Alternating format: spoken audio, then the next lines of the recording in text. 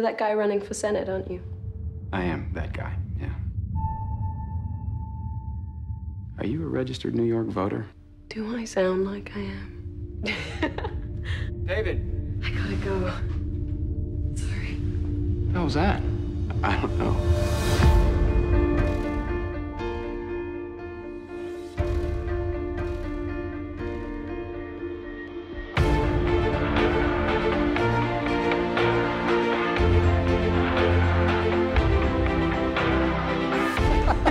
Let's race.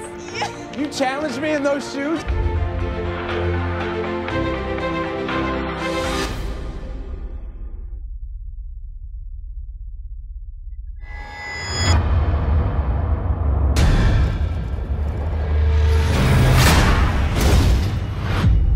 What is this?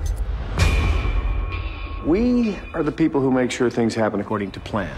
We monitor the entire world. Ah.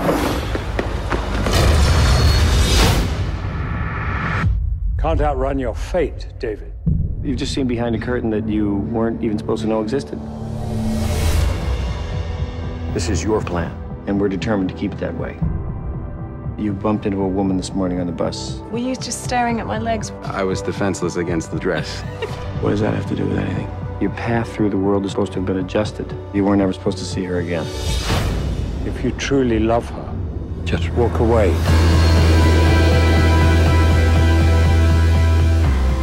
Stay with her, it not only kills your dreams, it kills hers. I don't care what you put in my way, I'm not giving up. They're making a run for it. What the hell is going on?